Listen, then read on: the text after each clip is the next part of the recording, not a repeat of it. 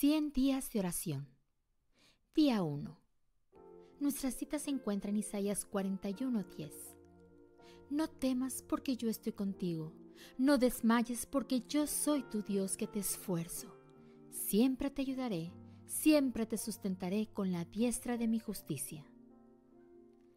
Oremos para que la Iglesia de Dios se mantenga firme en medio de la gran crisis de salud por la pandemia COVID-19 que enfrenta nuestro mundo por los profesionales de la salud, médicos, enfermeras y otros que trabajan las 24 horas para salvar vidas.